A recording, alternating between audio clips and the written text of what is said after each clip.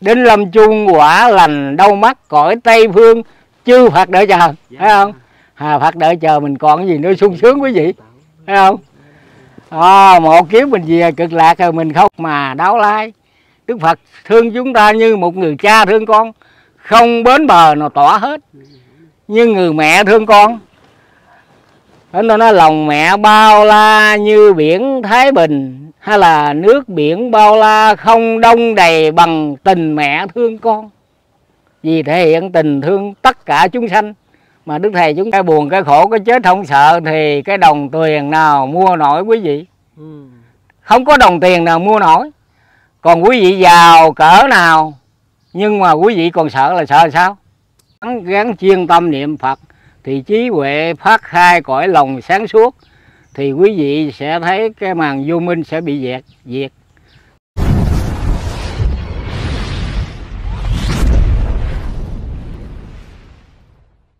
Dạ Thanh Trúc xin chào cả nhà. Thì à, bữa nay Thanh Để à, cho bà con thức tỉnh tu hành trong cái thời điểm mà ờ, dịch bệnh và chiến tranh thế giới đang diễn ra thế này mong tám mong Đà Phật à, Nam mô Bổn Sư Thích Ca Mâu Ni Phật. Nam mô Bổn Sư Thích Ca Mâu Ni Phật. Nam mô Bổn Sư Thích Ca Mâu Ni Phật. Nam mô A Di Đà Phật. Nam mô A Di Đà Phật. À, theo cái sự hiểu biết của tôi rất thấp thỏi mà vì cái tình thương tất cả à, đồng bào và nhân loại trong kiếp sống con người thành ra tôi cũng có đôi lời để nhắc lại lời vàng tiếng ngọc của đức thầy sau khi xa vắng để cùng cho quý vị nghe để hiểu biết chung à, xin chào quý vị tất cả trên mọi miền đất nước Việt Nam và chào quý vị đồng đạo. À, để hiểu biết chung để sự hiểu biết mình càng lan rộng trên đường tu mình để có mức tiến. Bởi vì đức thầy chúng ta nói đó à, giảng kinh đọc tụng chiều mai ấy là châu ngọc để dành mai sau hay là ráng hiểu rành tiếng kệ lời kinh. Đó thì mình tu mình ráng hiểu rành tiếng kệ lời kinh cái sự tu hành mình mới phát triển được.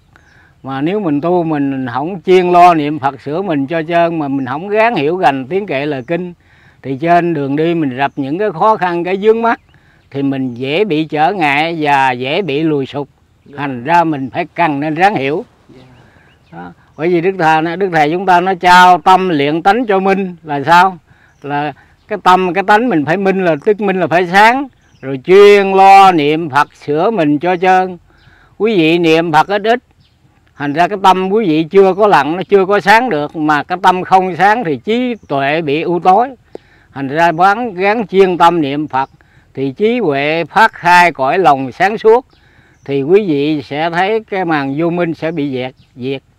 Vô minh bị diệt thì tất cả sự việc gì nó của cái phiền não và cái hơn thua, cái cố chấp, cái hờn giận gì nó cũng lặng tất cả. Mà cái vô minh không diệt rồi thì coi như chúng ta đè nó không được. Ở đây tôi cũng có đôi nét để nhắc với quý vị như thế này. Cái lời đức thầy nói là sống làm sao? Là trên kiếp sống phải làm sao? Chứ không phải ăn ngủ chỉ chờ cái chết đến mà thôi. Dạ. Trên phải cái sống sống làm sao? Dạng chữ tu mi. Nếu mà ta có sống đã dạng chữ tu mi rồi nhà lá ta một căn ha nguyện cho được ngoài ngày ha cơm tẻ ta cũng nhàn mà đức thầy nó tu cho nhàn hạ tam thân.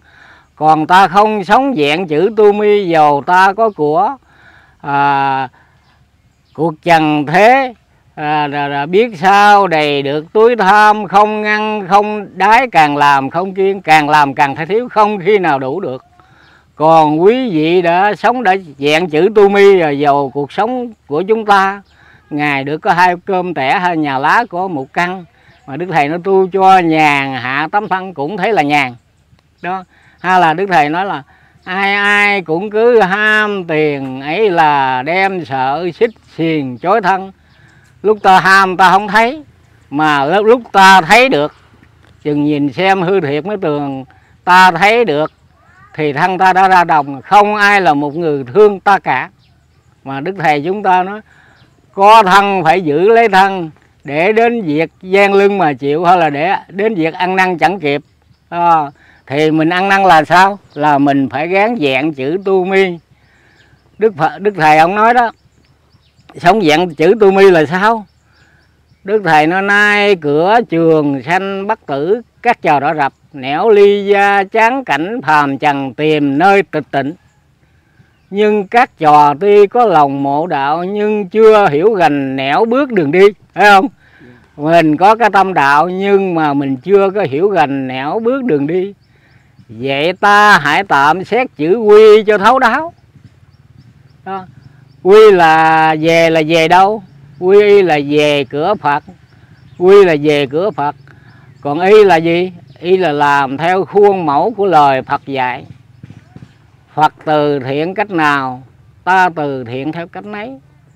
Phật tu Phật tu cách nào, đắc đạo dạy ta ta làm theo cách cách nấy. Thầy cảnh tỉnh giác ngộ điều gì chánh đáng cần khá gắn nghe lời.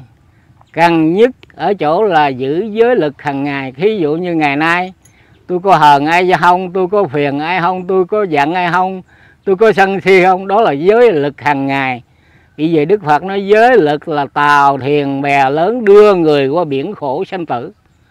Con người tu tới đâu mà cái giới lực không có nắm vững không đi tới đâu hết đó giàu ăn tương bao nhiêu năm giàu hành đạo cỡ nào mà cái giới lực mình không nắm rồi mình không đi tới đâu hết đó vì cái giới lực là à, cũng là phật là thánh tiên cũng là cái giới lực cũng nhờ cái giới lực mà đạt.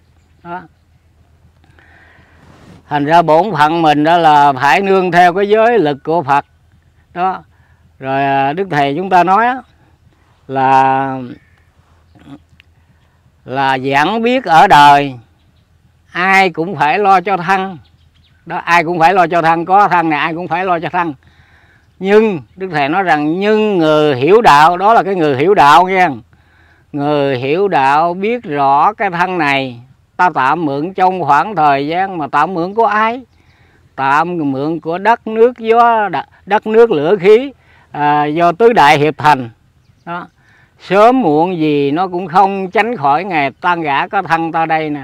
Sớm muộn gì nó không tránh khỏi ngày tan gã đặng vậy ta mới bỏ các mối dục tình tránh những điều khổ lị do thân xác gây nên. Đó.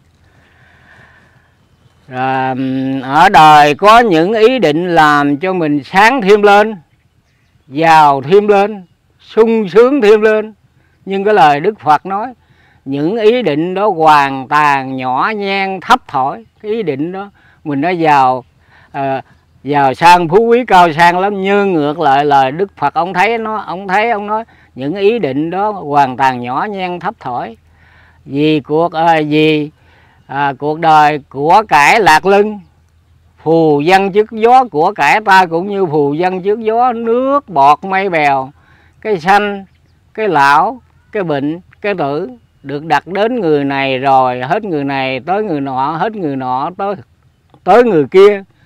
Khắp trong nhân loại không thiếu sót một ai. Vì thế mà họ vẫn cuồng cuồng tâm trí chạy theo bả lợi danh mùi phú quý, những vật dụng nhỏ nhen mau tan mau gã. Đó. nếu ta lấy thiền định là niệm phật đó, định tâm đó. Nếu ta lấy thiền định mà phá tan màn u minh thì thấy cảnh ấy con người hết buồn hết khổ hết quả báo hết lưng hồi. Ta dùng chánh định à, dẹp tan các sự gờ buồn phá tan những lần sống thị dục tâm ta tỏ rạng như chân gầm một màu sáng suốt không ô nhiễm ngoại cảnh lần bước đi đến cõi giải thoát. Vậy là ta muốn dạng chữ tu mi thì ta phải ráng nghe lời thầy chỉ sao ta làm vậy? À, đức thầy chúng ta nói là làm theo lời chỉ ngài rài rập ta hay là quy y thì hãy hành y hành y lời chỉ ngài rài rập ta rồi đức thầy chúng ta nhắc lại phải nhớ rằng dạng vật trên thế gian hoàn toàn là vốn vô thường kiếp sống rất tạm bợ. Nó không có lường trước được ta biết mà đức thầy chúng ta nói ai mà biết đặng ngày mai? Ngày nay yên tịnh ngày mai thảm sầu. Ngày nay ta vui vẻ rồi biết ngày mai nó có được gì hay không. Thành ra bổn phận gì cái chỗ không biết đây? Mà ta muốn nay bữa khổ, mau mau tránh khổ. Ta muốn biết đây là ta phải nay rập rốc, phải mau tầm rốc. Ta phải ráng theo cái chân lý của đức phật và đức thầy để ta mới hết khổ. Mà đức thầy chúng ta nói trồng bông kiển giống chi hưởng nấy hay là nếu ta làm phải phước hờ bên lưng, hay là làm nhân ái ắt tiêu bệnh tật, vị kiếp sống con người mình muốn dạng chữ tu mi, phải gắng làm lành và ráng chuyên tâm niệm phật và sống với à, cây cái chân tâm thật của mình, đức phật ông nói là các chúng sanh đều có như ta. Bị vô minh chữ vô là ta không có thấy mà vọng cái vọng tâm ta nó vọng tưởng điều tà nên quay lộn ta bà cõi khổ. Bởi đức phật hồi chủ thế nó các ông nên tìm kiếm cái chân cái tâm của các ông bị đánh mất. Mà đức thầy chúng ta nó phật cũ ngày xưa hải ráng tầm. À, thành ra trong tâm của chúng sanh đều có phật cả. Nhưng mà mình bị cái vọng tâm che mờ tâm trí nên thường hay nhận ngụy làm chơn mình nhận cái thân này thật rồi nhận cái gì cũng thật ra hết trơn à, là nhận cái giả mà tưởng ra cái trơn thật. Rồi một ngày nào cái giả của ta mất thì cuộc đời ta có rất đau khổ, mà cái giả ta mất rồi ta sẽ đi về đâu? Thì trăm phần trăm là ta phải đi về địa ngục. Mà đức thầy chúng ta nói, xa địa ngục, uổng thân một kiếp.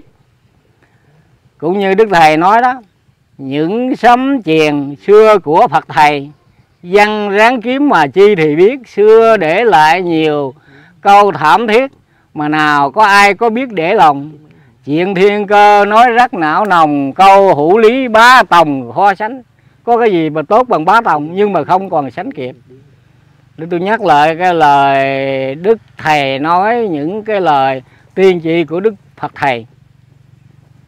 Người đời là cái người đời là cái người đang sống trên cái cái cái hồng ơn này đức thầy nói là à, đức phật thầy nhắc lại là cái lời của phật thầy đó. Người đời chớ cậy tài năng. Tài là gì? Ta có tiền nhiều hoặc giả có tài nó có sáu nghĩa à, hoặc là tài giỏi. Rồi tài tiền nhiều cũng là cái cái tài mà cái gì giỏi hay người ta cũng kêu là thằng này tài quá đó. Người đời chớ cậy tài năng. Năng là gì? Năng mình nhiều cái mũi nhọn để tạo ra nhiều đồng tiền đó. Sáng thì thấy đó tối thì thấy đâu sáng thì ông thấy ông uống cà phê với mình mà tới chừng tối lại nghe nói ông nhắm mắt rồi. Là có khi hơi thở ra vô đứt hơi rồi biết quy mô chốn nào. Sanh tiền mình chẳng biết sao thác về âm cảnh hồn về vào ngục môn. Nhất nhật tam đã quan hồn quan khâm nghiệp trọng ai hồng cứu cho. Nhãn tiền sao không biết lo sông không cầu bắt mướn đò ai đưa để cho khát nước quá chưa? Ra tay đào giếng cù cưa đặng nào. Thở còn chai chán giường bao không lo tu tập già đành biết đâu. Mà tại sao thở còn chai chán giường bao không lo tu tập già đành biết đâu là quý vị hiểu cái nghĩa đó là sao? Để tôi nhắc lại cái nghĩa nếu mà trò trẻ mình không ráng lo tu thành tu tu tập mà mình để cho mê man vật dục chìm đắm trong biển lợi danh rồi. Khi mình già cái cái trí tuệ mình đâu còn tỉnh tuồng nữa. Thành ra không còn nhớ đi niệm phật kịp. Mà đức thầy chúng ta nói à, nếu mãi chần chờ e chẳng kịp khuyên ai khuya sớm ráng chiên cần còn quý giờ hồi nhỏ mà quý vị chuyên tâm niệm phật chuyên tâm hành đạo rồi tới chừng già, đức thầy nó tích thiện thì vô lượng lắm. Đó. Còn chúng ta nhỏ lớn giờ ta tích ác quá nhiều. Tới chừng già ta tỉnh ngộ lên ý siêu à. Bằng tích ác quả ương đeo đám cái nghiệp bình thường hầu tuổi xuân ta đã đây tạo tới chừng già rồi. Nó dồn lại cái trí tuệ ta bị nó mạnh, nó lắng chúng ta là chúng ta muốn tỉnh là cũng không được có nhiêu.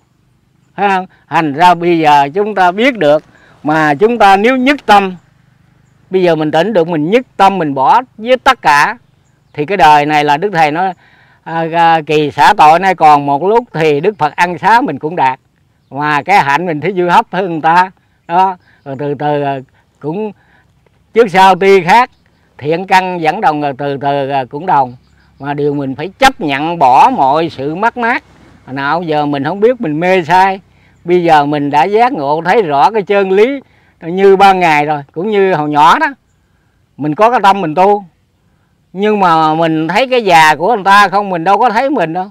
Bởi duyên trước ngày nay mới có phần. Mà bây giờ mình thấy cái già nó đã bám vô mình rồi cũng như đức thầy chúng ta nói trong cái bài thu đỡ cuối đó.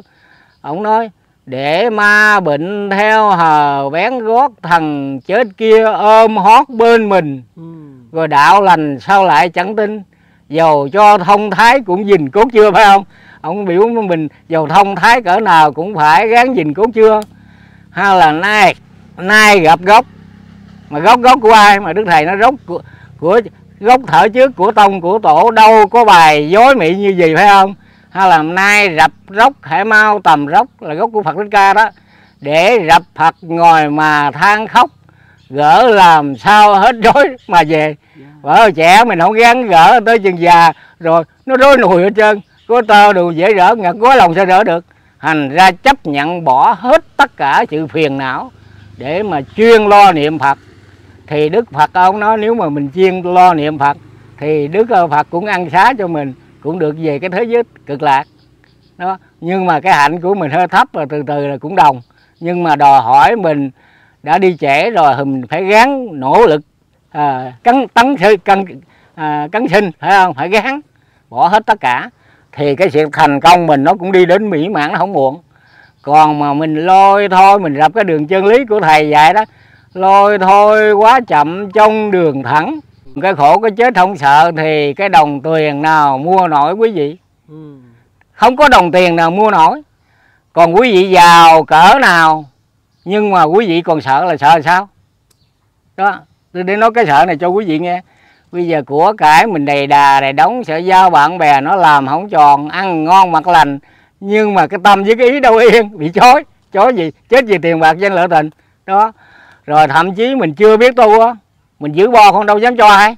Sợ con mình nghèo, sợ mình nghèo, sợ hết lo, con tới lo cháu rồi tới lo chắc luôn. Đó. Mà mình lo giàu, nghèo, lo chẳng có rành, mà mình lo cuối cùng không có đạt. Mà đức thầy biểu chúng ta đó à, những người có của tiền dư hãy mau bố thí dành tư làm gì thấy không? Hay là nữa sao? Khó đứng khôn ngồi. Thương nhà tiếc của biết ngày nào ngu. Gì là mình niệm phật còn bảo thủ là còn nhiều cái điểm yếu. Chưa đạt được. Quý vị niệm phật rồi quý vị thấy cho người ta tiếc là quý vị đâu có tiếc nữa à, quý vị à, hãy bố thí dẹp lòng ích kỷ quý vị cho người ta quý vị bố thí à, quý vị đâu còn tránh ích kỷ nữa. Thành ra quý vị có nhưng mà là phương tiện để giúp đời quý vị không mê. Còn quý vị có mà quý vị bo bo giữ của miệng người nói tu hực mà ngạt bo bo giữ của không? Cái điểm mình yếu rồi thì mình không có về được cái thế giới an lạc rồi cha mẹ cũ quyền đều thất vọng ở trên này nó không lo tu hành nó đâu thấy đâu mình đang trông chờ nó đó thành ra cho thành ra mình phải bỏ hết tất cả mình về với Phật rồi. Cứu cũ quyền với cứu cha cứu mẹ mà không phải cứu hai cái đời vừa hai cái đời cha mẹ mình vừa qua. Mà bảy đời vừa qua mình bị vô minh mình bị đánh mất mình đâu có thấy. Bảy đời vừa qua ra trông chờ mình. Mà mình sống đây mình có biết đời cha đời mẹ mình hiện tiền thôi. Nhưng mà bảy đời vừa qua đang trông đợi chúng ta chúng ta vì hoàn cảnh nào để đánh mất bảy đời là vì hoàn cảnh nào? Để cho ở tây phương chư phật ngóng trông chờ bá tánh rủ nhau niệm phật. Mà chúng ta bị gì, hoàn cảnh gì mà chúng ta phải đánh mất? Hỏi chúng ta đau khổ biết nhiêu? Thành ra từ ở chỗ đó chúng ta phải gắng lo tu hành. Và có của để là phương tiện để trên bước đường tu ta giúp đời chứ không phải có của ta nói tu hực mà ta bo bo ta giữ của thì cái điểm yếu của chúng ta ta không thấy. Mà không thấy được thì không đi tới đâu. Dạ. vậy thì quý vị nên thấy của là phương tiện.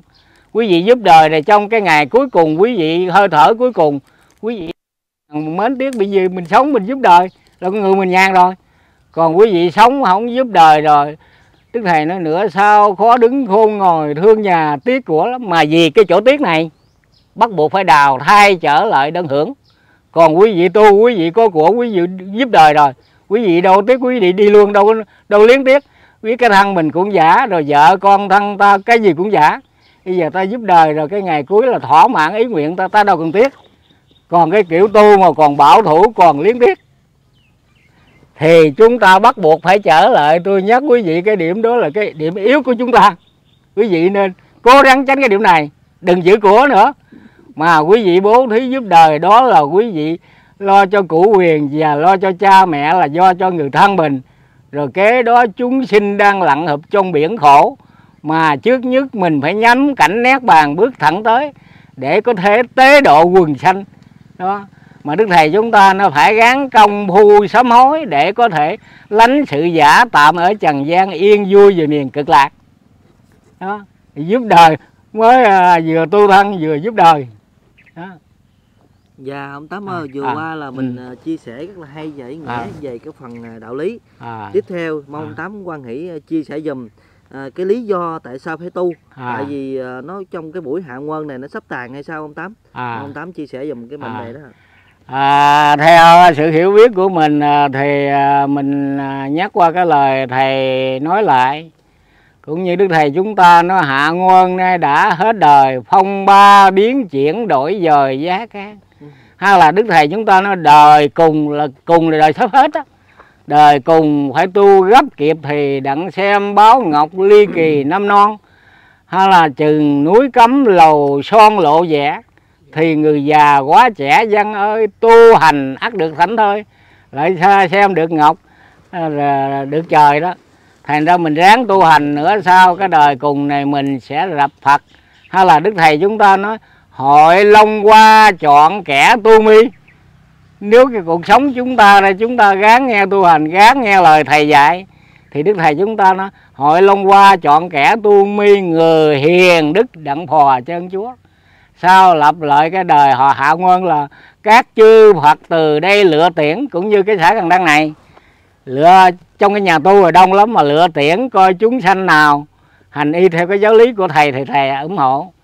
Hành ra đức thầy nó hành theo lời chỉ ngài rài rập tan hay là đạo chơn thì ít ai hành thật tâm cũng như trong cái lớp học. Thí sinh thì đông lắm. Mà hỏi mình đánh là cho hỏi coi trong cái số đông này mình có đạt được hay là không? Mình hỏi là cái bản tâm mình có hoàn thiện như Phật chưa? Chứ khỏi có tìm trên non trên núi mà đức thầy chúng ta nói chẳng nói vắn dài Phật nọ tức tâm. Cái tâm mình còn dính dấp cái gì nên mình nên cố gạt bỏ để về với Phật. Chứ đừng có đi lên non đi núi nói ông này linh ông kia thính mà đi tìm. Đó là, là không có được. Đức thầy chúng ta nó nói chẳng nói vắn dài Phật nọ tức tâm. Hay là thành tâm thì có Phật mà đấu lại đó. Mà đòi hỏi sự quý vị tu thành tâm. Đó. À, không còn dính dấp với cái tiền chằng gì hết thì không, buồn không, giận cái gì cũng không. Mà đức thầy chúng ta nó lấy trơn nhân là lấy cái chân lý của phật. Phật đi tìm cái chân lý. Lấy trơn nhân dẹp tánh phàm trần. Không còn cái tánh phàm trần mới có thể mong về cực lạc. Còn chúng ta còn những cái điểm nào phòng trần, phàm trần chúng ta nên dẹp bỏ. Dẹp không được cũng phải gắng cố gắng dẹp cho được. Đặng trở lại với phật. Chứ chúng ta đừng nói, tôi tu hành nghèo khổ quá giờ, tôi chán tôi nghĩ mà đức thầy nhắc chúng ta đường đạo lý chớ nên chán nản, phải bền lòng tầm phật trong tâm. Hay là đức thầy chúng ta nói tuy tu hành chịu chữ ngày nàn. Đức thầy nó báo cho chúng ta biết, thành ra chúng ta đừng chấp ở chỗ tôi nghèo quá, tôi khổ quá. Mà đức thầy nói là tu hành bất luận nghèo giàu. Hay là mong bá tánh thầm, tâm thành trở lại. Yêu cầu quý vị nhất tâm và cái tâm thành trở lại cũng đạn, chứ không phải đời giàu tu mới được mà giàu coi chừng bị của nó chói. Mà đức thầy nói ai ai cũng cứ ham tiền ấy là đem sợ xích chiền chối thân. Chứ không phải cái giàu muốn được mà đòi hỏi cái sự mình chịu tu hay là không đó thôi. Giàu bằng tiện cỡ nào mà mình nhất tâm mình niệm phật rồi. Là đức thầy chúng ta nói là trong các báo vàng bạc, châu báu trên thế gian mà mình nghèo, có nhà lá, có căn mà mình đã có cách tánh tiền thiện của phật rồi thì đức thầy nói trong các báo khó bị tánh thiện. Dạ. hay là ta nghèo chứ đừng nói ta nghèo mà đức thầy nói thà nghèo thanh hơn giàu mà trượt. Là dơ hơn người tu hành hơn người giàu có. Giàu có mà không có tu hành không đạt mà đức thầy nói vinh qua giường thể cúc mai thấy đó rồi cũng qua rồi cũng mất. Thấy không? Cuối mùa tàn rụi lâu dài được đâu. Mà có thích ca đạo vị quyền sâu gạch tim xem được một bầu linh quan cái tâm mình để sáu chữ di đà, đức thầy nói, không độ sông phật có rất nhiều, hay là thả thiền từ bến nước nâng nâng niu, kẻ hiểu đạo mau mau bước xuống. Thấy không? Rồi việc trải qua như mây, gió cuốn, nhìn cuộc đời ngày tháng thôi đưa. Trời sáng ra kế lợi xế chưa hết năm cũ, rồi qua năm mới, thì tuồng đời mỗi phút mỗi thai nẻo thạnh si như thể tên bay đường, dinh nhục rủi mai có lát. Thì đức phật nói có lát, bây giờ mình ráng tu hành.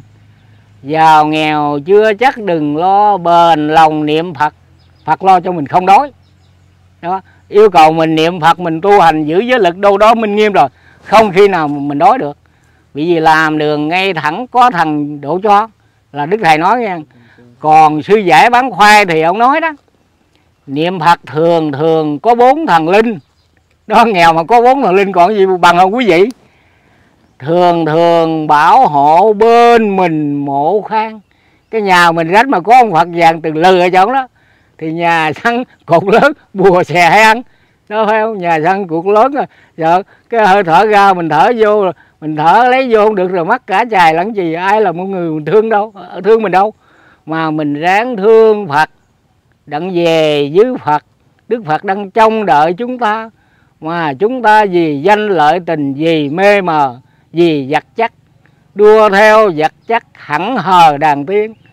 Rồi hố sâu là hố là cái hầm đó, hố sâu chắc chứa người bán đua, hố sâu, đua theo vật chất hẳn hờ đàn tiên, hố sâu tình dục lợi ghiền mà vì mình chết cái tình dục mà nghiền cho đến lúc chúng khiên quan tài trời ơi, tới chúng thiên ban tài, nhắm mắt cũng nắm hai tay, đâu đem tiền của, đem rài hầu non.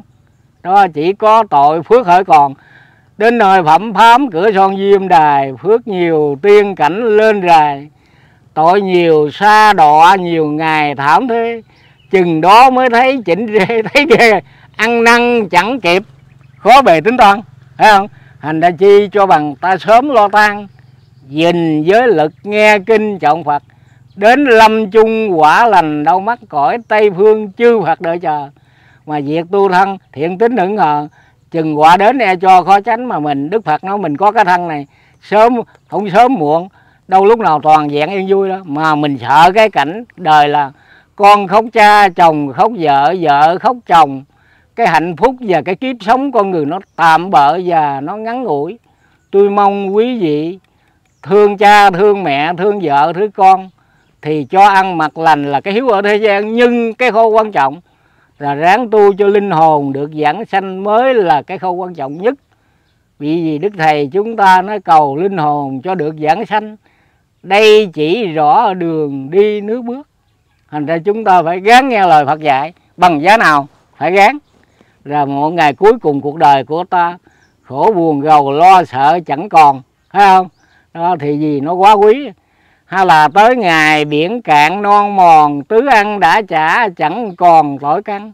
Nay ông nhập tự làm tăng trước sau ti khác, thiện căn dẫn đồng, rồi mình không còn đánh mắt cái thân cái cái linh hồn mình hầu vô thủy giờ bị trầm lưng, mất đào thay lên, đào thay xuống, lưng chuyển báo đền không dứt được.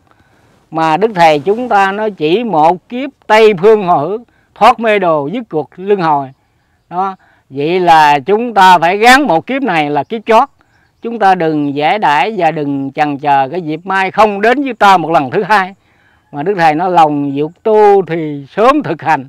Chúng ta phải sớm thực hành, chớ đừng có ham điều sung sướng. Chúng ta ham điều sung sướng rồi, cái sung sướng này đâu đâu đâu còn. Nó mắc cái đau khổ chúng ta chúng ta không tỏa hết được. Mà chúng ta tu và chúng ta làm phước, chúng ta làm lành rồi. Con người nó nhàn lắm con người nó già nhàn lắm mà tinh thần nó phấn khởi lắm. rồi không còn chứa những cái điều phiền não. Đó là đi đến mức cứu gáo đó là à, đó là chúng ta đã sống dạng với chữ tu mi. Còn nếu chúng ta không có sống dạng chữ tu mi ta danh lợi tình rồi đó. Thì à, đức à, phật ông nói là người không hiểu đạo bo bo giữ nó bằng lối mê làm ấy là một kiếp cho nó được trường tồn khi tử thần gõ cửa, vì mình đâu thấy tử thần gõ cửa đâu. Khi tử thần gõ cửa, hôn mê, nhà cửa vợ con, mà không là trời đạp khổ não, biết giường nào bao. Vậy thì chúng ta còn ăn được, ngủ được, ráng chiên tâm làm lành và ráng giúp ích cho đời. Chừng bỏ cái xác này, có cái xác khác. Để nếu chúng ta không lo rồi thì chúng ta sau này chúng ta sẽ bị khổ não dữ lắm rồi. Xa địa ngục uổng thân một kiếp. Ta không còn cái gì với ta. Mà đức thầy chúng ta nói giống xe cát biển đông thường thấy tên giả tràng rắc uổng công trình. Đức phật ví chúng ta như con xe cát. Mà tại sao là xe cát? Nước gồng cặp má biển. Xe cát nó ủa ủa, vô đống nó nó ủa ủa, vô đóng thành đóng cát tới chừng gió, biển chập chà chập chà vô, rồi cát kia tan rã, thì cuộc trần của chúng ta cũng vậy. Ta sống lên đây mê mang theo vợ con tạo danh lợi đủ thứ, mà chỉ con hơi thở rồi, biết bao nhiêu công trình ta đều sụp đổ, không còn gì cả. Mà chỉ còn cái tội và cái phước nó đeo chúng ta thôi. Bởi vì đức thầy chúng ta nó tội dưới phước xét coi nhiều quặng kiếp sống nó tạm bợ và nó rất ngắn ngủi lắm quý vị ơi. Tôi mong quý vị thương vợ, thương con, thương cha, thương mẹ, thương người thân của mình chừng nào chừng nấy. Phải ráng tu hành và ráng niệm phật. Cái mục đó là cái mục chính nhất. Vị bà con và quý đồng đạo nên cố gắng đừng giải đãi để nó trôi qua uổng lắm. Dạ Ừ. cảm ơn tám nhiều hen theo cái sự hiểu biết và cạn cợ của mình mà đức thầy chúng ta nói đó. Bây giờ mình đang học mà. Mà là ông nói là đạo lý tầm sâu sâu chẳng cạn. Thành ra mình biết với cái sự thấp thỏi của mình mà mình nói lên đây để sự hiểu biết anh em cùng đóng góp để cùng bình luận thêm theo cái lời đức thầy nói đó, chừng nào thầy, đức thầy chúng ta nói như là đức thầy chúng ta không có chết. Nếu nói đức thầy chúng ta chết là lầm. Mà tại sao vì không chết? Đức thầy chúng ta nói như thế này nè, chừng nào thầy lợi gia chung, là gia, là nhà, là chung, là chính giữa của tổ đình của đức thầy đó, là cái cái tổ đình, là cái nhà của đức thầy đó, chừng nào thầy lợi gia chung thì trong bổn đạo bóng tùng phủ che trách dân còn tiếc lụa the chẳng làm phước thiện quả e đến mình đó. À, thành ra đức thầy còn trở lại. Mà khi thời gian xa vắng này là một cái thời thời gian xa vắng xa vắng này là một cơn thử thách rất gắt gao. Mà chúng ta là một người đạo phải nhớ cái lời đức thầy nói như thế này. Thì chúng ta thấy xa mà không xa mà xa hay không là do tại lòng ta thấy không? Đức thầy nói như thế này đức thầy nói là ít lâu ta cũng trở về khuyên trong bổn đạo chớ hề lãng sao trì lòng chớ có nung đâu mà phải tu trì mới được. Thấy không? Chứ tu không trì luôn tu hành trì trí mới là liễu mai phải không? Phải trì trí mới được ờ. Ít khuyên trong bổn đạo chớ hề lãng sao trì lòng chớ có núng nao từ đây nhơn. Nhơn là ngừ đó.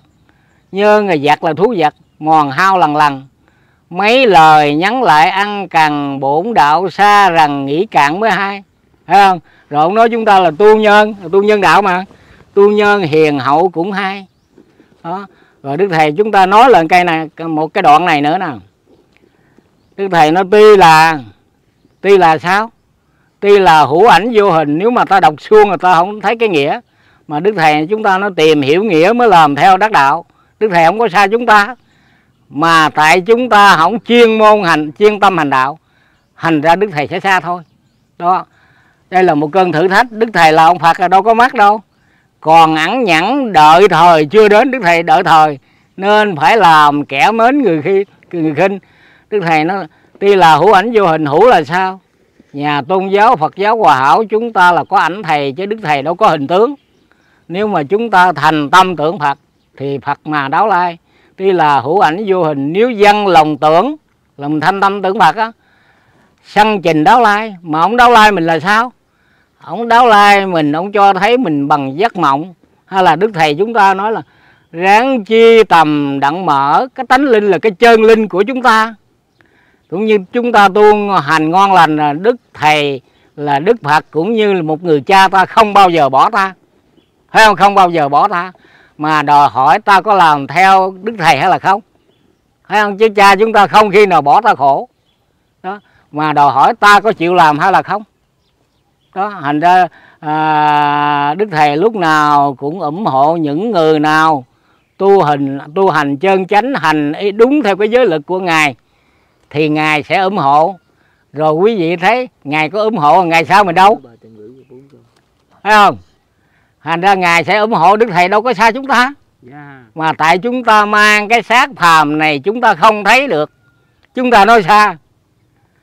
Chứ Phật không có xa chúng ta mà đòi hỏi ta có thành tâm với Phật chưa?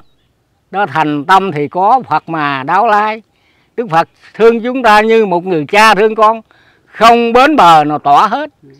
Như người mẹ thương con Thế nó lòng mẹ bao la như biển Thái Bình hay là nước biển bao la không đông đầy bằng tình mẹ thương con.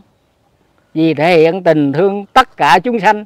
Mà đức thầy chúng ta nói nếu à, nếu à, chúng sanh còn trốn mê tăng thì ta chẳng có an vui cực lạc. Mà đòi hỏi chúng ta phải thành tâm thì Phật không bỏ chúng ta. Rồi để tôi nói cái thành tâm thì có Phật mà đấu la cho quý vị nghe đây là một trăm cái nói mà không cái bằng mình thấy cái thực tế. Mình thấy cái thực tế rõ ràng. Mà thấy thực tế thực tế là sao? Để tôi nói qua cái phần này vô quý vị bình luận. Thấy không? Nhưng mà tôi thấy cái này tôi cũng bình luận mà nhờ quý vị bình luận thêm. Dạ. coi cái lời nói của tôi có phải gì không? Hay là à, hay là tôi nổ thấy không? Mà tôi nói tôi nói thật tôi biết tới đâu tôi nói tới đó tôi thấy tới đâu tôi nói tới đó mà đức thầy chúng ta nói, nhiệm màu phổ độ âm thầm ai hay? Là cái một người tín đồ nào tu hành cho ngon lành, hành đúng theo cái giới lực của thầy, thì đó người đó sẽ hay và sẽ hiểu biết. Mà đức thầy nói, tâm sáng suốt như đài nguyệt kiến phải không? Đó, tánh trong như nước bích mùa xuân là sẽ thấy. Đó, hay là trong cái cái quyển năm đức thầy chúng ta nói, mình mới tu mình tối chứ gì? À, đức thầy nó tu cầu phật quá tánh tình nhờ phật quá tánh tình mình lưới mê chẳng buộc nhẹ mình tiêu dao chứ mà tu ngon lành đâu có tối đâu. Từ từ cái trí huệ mình nó kháng ra nó sáng ra. Rồi cõi lòng sáng suốt màn vô minh mới bị dẹp. Chứ đâu hơn tu tối hoài được. Mà tối hoài hay không là do mình. Bởi vì mình tu mình không giữ giới. Mình còn cố còn chấp còn nhân còn ngã còn chê khen. Đó là còn phân biệt. Mà đức thầy nó ta chớ nên phân biệt với, với người thành ra từ cái chỗ chỗ cố chấp khê chê khen phân biệt đó là bị lưới mê nó chói thành ra nó mất đi cái trí ánh sáng trí tuệ của mình. Mà đức thầy nói là nếu tâm bình tĩnh được thì phát huệ hay là nếu lặng tâm thì tỏ ngộ đau màu. Thì quý vị gán lo tu hành ngon lành thì Phật độ mình thì mình sẽ thấy được cái giả và cái trơn và cái thật. Rồi mình tìm kiếm cái chân tâm của mình. Mà đức thầy chúng ta nói Phật cũ ngày xưa hãy ráng tầm mà cái Phật cũ là cái Phật của ta trong tâm ta. Mà ta bị danh lợi tình nó che phước nó đánh mất cái chân tâm của chúng ta rồi mất đi cái Phật tánh mà đức thầy nói các chúng sanh đều có như ta đó. Thành ra nó đánh mất cái chân tánh Phật của ta. Chứ đức thầy không có xa. Rồi lúc uh, đức thầy dẫn ông điện đòi đi xuống một cái lò ảng núi.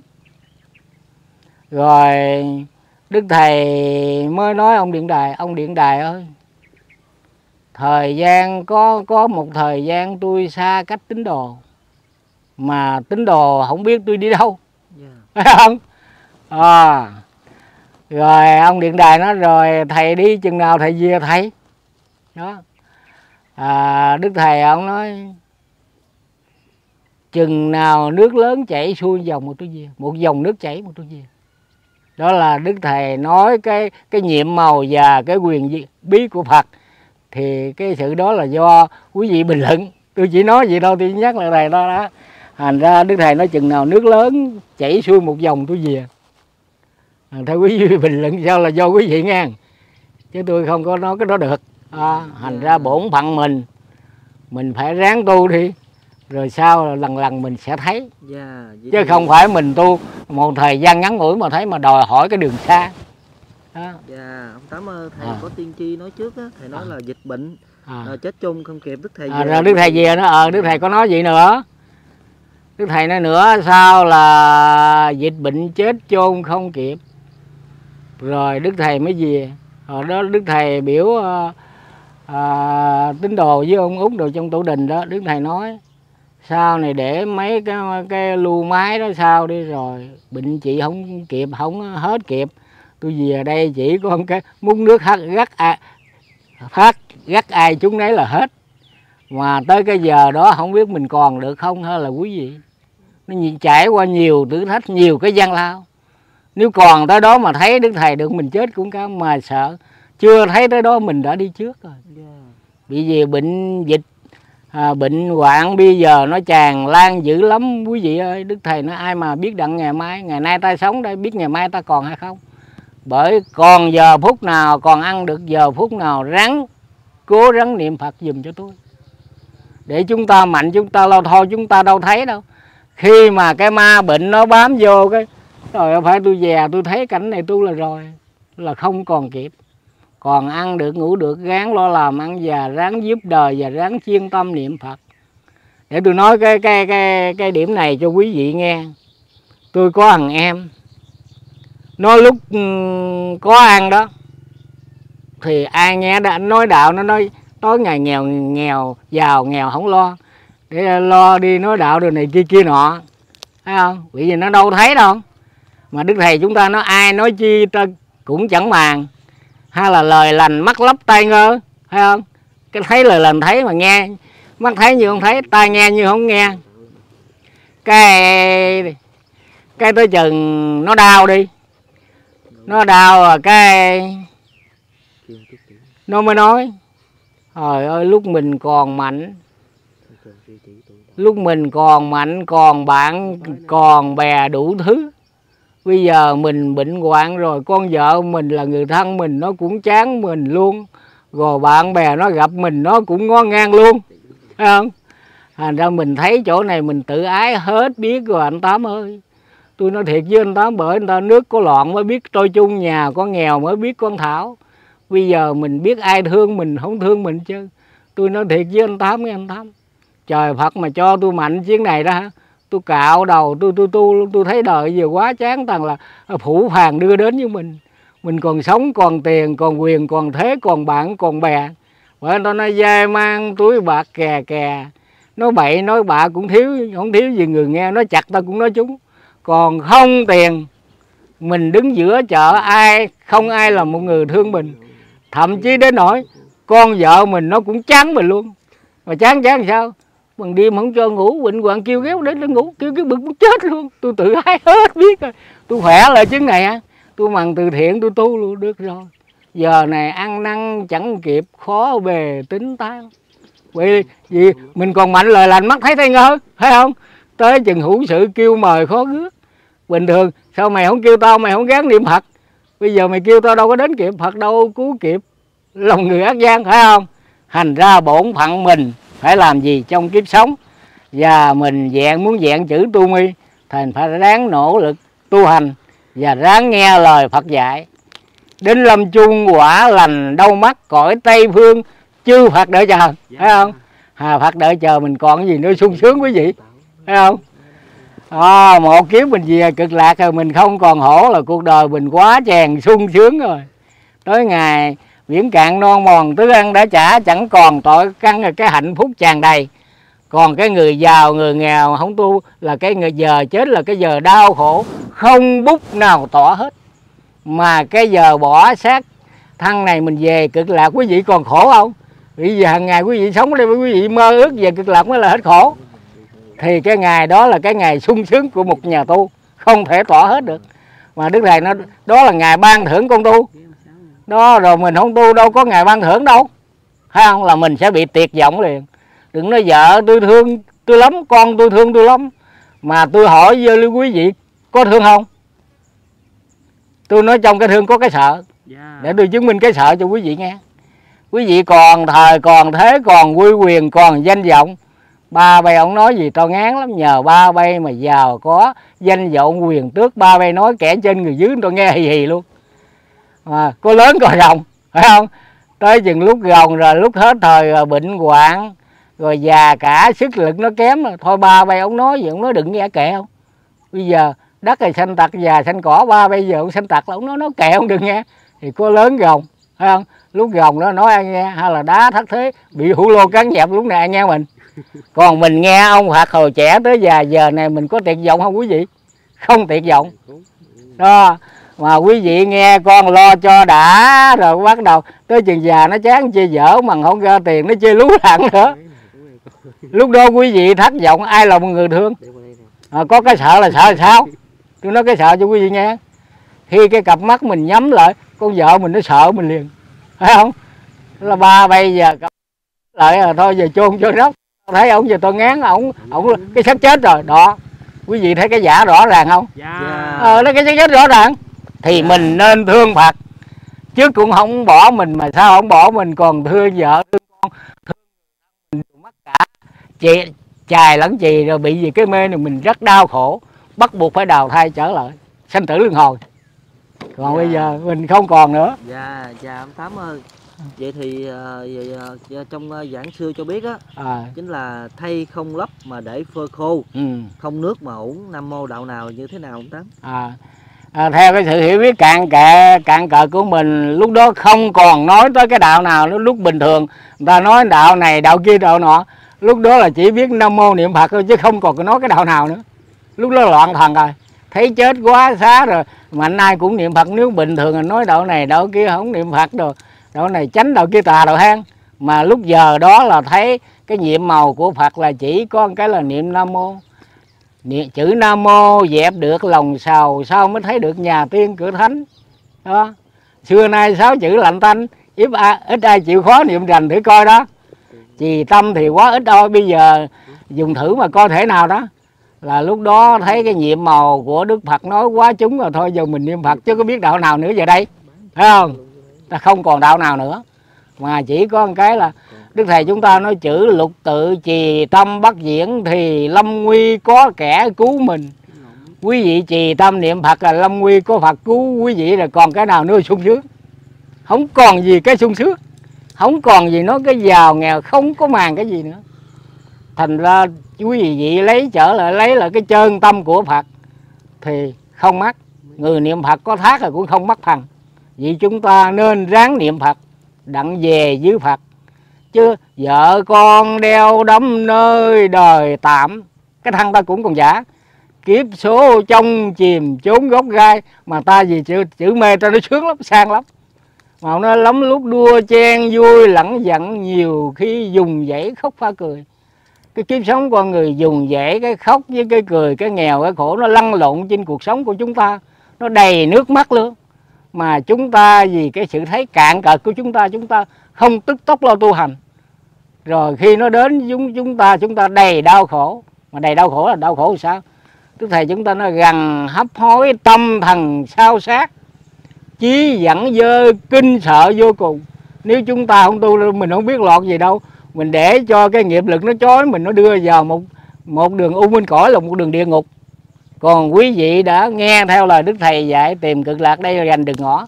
Rồi hơi thở cuối cùng 25 vị thánh chúng Bồ Tát và Đức Phật A Di Đà đưa quý vị về cái thế giới an lạc. Thì còn gì nữa sung sướng quý vị? Quý vị ờ, rồi nhắm cảnh các bạn đi tới là quý vị sẽ về. Còn quý vị không nhắm cảnh các bạn quý vị không nghe lời Phật, thì xa địa ngục uổng thân một kiếp mình để cho nghiệp lực nó xô mình vô con đường sanh tử lưng hồi. Mình đó nó phải về rồi nên đáng sợ quý vị ơi. Tôi nói thật với quý vị, hồi đó đó, tôi thấy cái bệnh, cái hoạn, cái kiếp sống của con người là bắt đầu tôi sợ cảnh này, tôi là bây giờ đâu có cái mã nào ngoài đồng chết đói là ai nghèo khổ ai cười cười tôi tu cho chết luôn. Tôi thấy cảnh đời này khổ quá. Mà đức thầy chúng ta nó ôi cả sang hèn, mấy ai thông thả. Sao nhân sanh cứ mãi đắm sai chẳng tu thân đặng dựa phật đài cho thông thả hưởng mùi sen báo. Cho thần thức nhập thê sen tinh hảo, nên khỏi màng lo nỗi khổ sanh. Chí yên nhàn nhìn cảnh phật đài, khỏi quả khổ mu cầu bắt đắc. Thì có cái sung sướng nào bằng nữa quý vị? Rồi sao cha mẹ rồi mình, cái quyền diệu của phật hồn nhẹ nhàng rồi vượt khỏi tử sanh. Còn mình đem mang cái xác trần này nè, cái lời đức thầy nói tôi nhắc lại. Xác trần như cái rong cùm mà tại sao rong cùm cái rong là quý quý vị biết sao hồi xưa đó người có tội đó có hai miếng dán khép ở chân cần cổ mang rong nè rong đeo vào cổ đó. Cái cùm và nó rất nặng nề. Cái gì nặng nề người ta kêu cái cùm. Nếu là chẳng chọn thú hùm xé thai thấy không? Thành ra đức thầy biểu chúng ta gắn nghe lời tu của đức thầy thì đức thầy nói ước chăm họ nhẹ mình có cánh mình tu tức nhẹ rồi đồng bay về cực lạc một đàn thấy không thì chúng ta ngon tu ngon lành nghe lời đức thầy dạy thì chúng ta không còn mang gánh nặng ai nói gì cũng không dính nữa chứ. Mình ta nhẹ nhàng vượt khỏi tử sanh. Đó, rồi ta có thể cứu độ quần sanh đang chúng sanh đang lặn hợp trong biển khổ.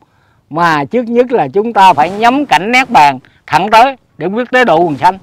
Chứ quý vị đừng vì một quyền lợi và một à, kiếp sống con người mình nó rắc ruộng ngắn ngủi mà đánh choi đạo đức uổng lắm cũng như đức thầy chúng ta nó từ gài chằng hạ lợi danh choi mà xa lơi đạo đức khổ tâm à.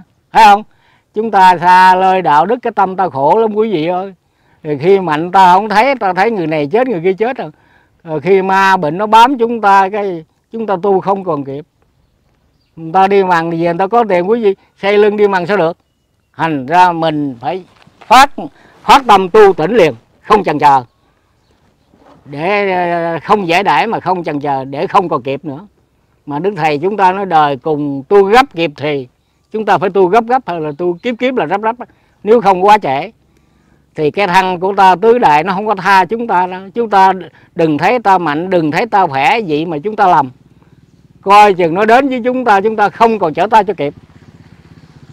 Bởi đức phật hồi còn chủ thế nó, ta nói cho các ông biết, các ông đừng giải đãi kiếp sống con người từ ngày từ phút từng giờ nó qua đi là cái bộ máy cơ thể của các ông nó càng mòn càng mòn nhưng các ông đâu có thấy đâu.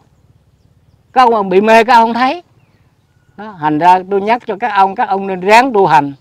Chứ đừng giải đãi và đừng chờ đợi đừng hẳn hờ. Rồi sau này ta sẽ bị tuyệt vọng rất đau khổ.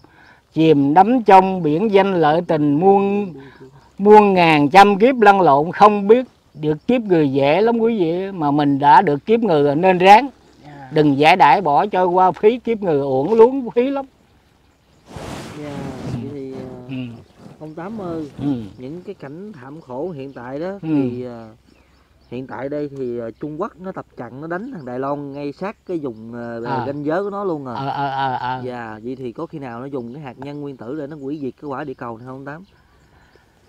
Thì à, theo à, cái lời đức à, thầy nói là à, hoàn cầu trái đất chuyển xây. Gớm ghê cho chúng phơi thay muôn ngàn. Mình nói là thầy đó. Ngày nay đạo đức chẳng màng rồi sao dẫu có tiền ngàn khó mua là đức thầy chiên tiên tri cho chúng ta biết vậy. Đó.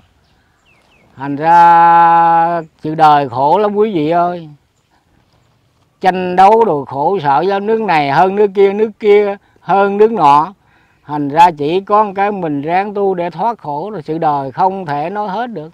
Là đời hạ đời hạ nguồn này, kiếp sống nó rất ngắn ngủi, nó tạm mà bợ mà đức thầy chúng ta nói, đời hạ nguồn hay chết tuổi sanh, việc biến chuyển thiên cơ gắt gấp, khuyên chúng sanh khuya sớm chiên cần chúng ta thấy vậy, nhưng mà việc thiên cơ nó biến chuyển, hay là ngọn thủy chiều nô nước sụt xuôi sụt sôi bầu trái đất một phen lưng chuyển.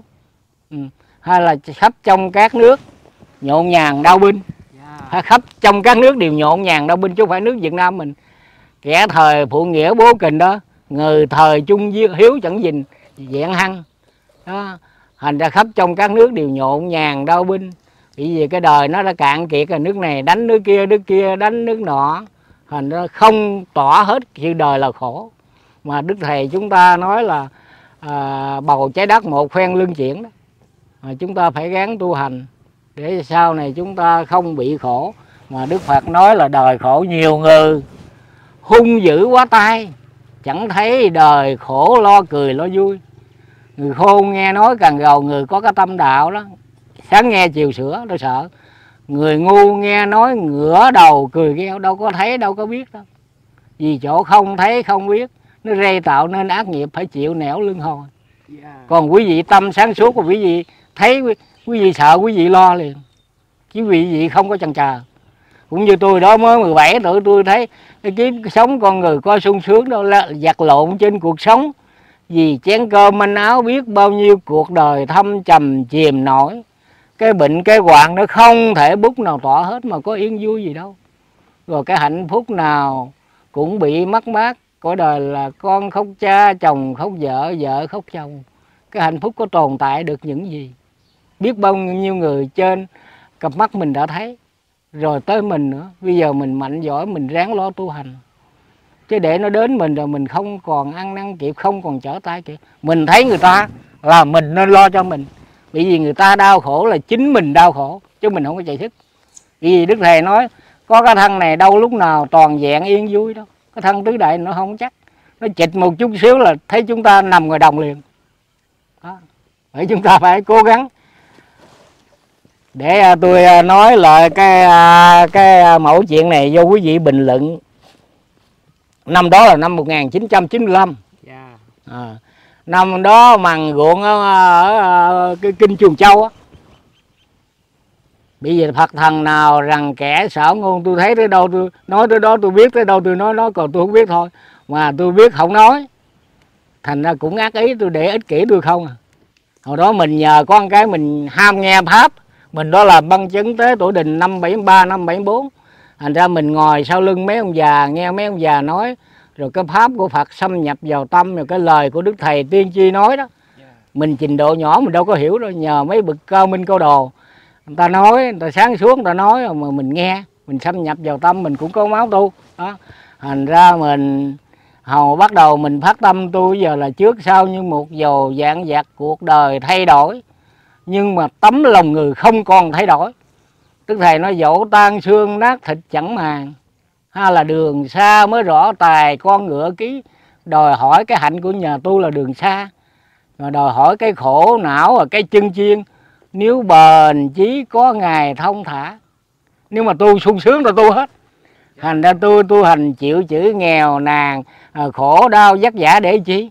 Đặng mình nhận thức cuộc đời là sự khổ để nó đánh giá cho mình tu. Rồi nhiều khi mình tu tu tu sao? Vợ đó con đau nhà nước ngập cái cảnh này cảnh kia nó dồn tôi không à. Đó là mình trải nghiệm mà mình vô tình mình trách thấy không? Với hai nó đã nhắc nhở cuộc đời là khổ nay buổi khổ mau mau tránh khổ mà mình không tránh. Mà mình trở lại mình nhào vô luôn thấy không? Hay là ông nhồi quả cho người hành đạo lúc nguy là nghèo đó nàng là nặng tay đó. Lúc nguy nàng thối chí cùng chăng? Nếu bền lòng dị quả cao thân mà chẳng chặt giả bỏ lăng Phật thánh. Thành ra mình nhất ờ, uh, dầu dạng và cuộc đời có thay đổi nhưng mà mình đã nói tu rồi không còn thay đổi. Chẳng thằng tu để mà chết để hơn nữa mình chết gì với ma. Phải không? Chẳng thằng chết gì với Phật. Còn hơn, cuối cùng cũng chết cả mà chết gì với ma chết. Nó không có nghĩa. Phải không? Đó, thành là phải chết về với Phật. Dầu nghèo khổ, dầu gian nan, dầu vất vả. Giờ bởi đức thầy chúng ta nó chịu cay đắng tu hành mới giỏi. Mà cay đắng ơi hay là đức thầy nói là ngọc nhờ lao, ngọc mới và gạn ngời kim mài ngọc chùi lao, ngọc mới, gạn ngời kim mài giữa kim kim mới bán. Quý vị tu mà người ta hơi dũa hơi, người ta nói hơi cái quý vị là đau quá đâu được. Phải để cho người ta dũa phải chịu cay đắng, cái đó là nhiều thử thách còn dai con đó chớ nản lòng, công khó tiêu tan việc